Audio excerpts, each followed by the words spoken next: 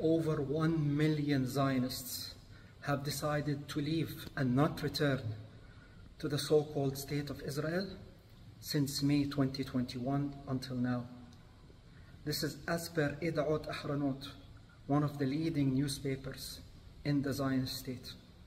And right now, over 40% of their population is seriously considering to emigrate from their terrorist state and not come back to it. And over 78% of adults are thinking and urging their younger ones to study abroad and to start life elsewhere.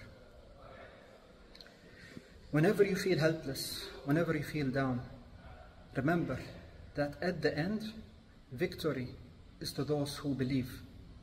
And what is happening now in Palestine has been prophesied over 1400 years ago.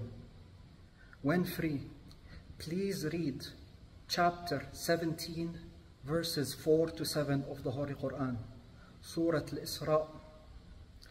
The last verse says, فإذا جاء وعد الآخرة ليسوءوا وجوهكم وليدخلوا المسجد كما دخلوه أول مرة وليتبروا ما علوا تتبيرا In those verses, Allah subhanahu wa ta'ala talks to those Zionists and tells them, look, you have been given wealth and strength over mankind twice.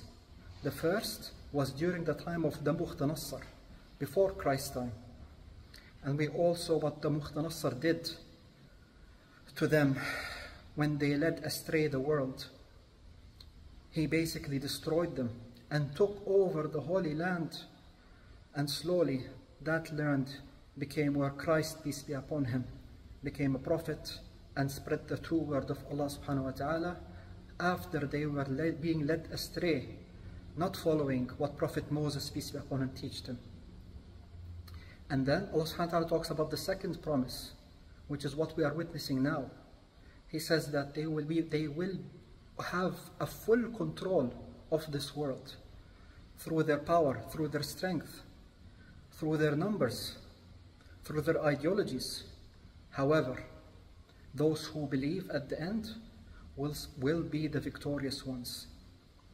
And after Allah subhanahu wa ta'ala shows to the whole world their bad and ugly face, the true believers will be victorious and will enter Jerusalem as those who believed entered before. May Allah subhanahu wa ta'ala make me, you, and all of us one of them free Palestine. السلام عليكم.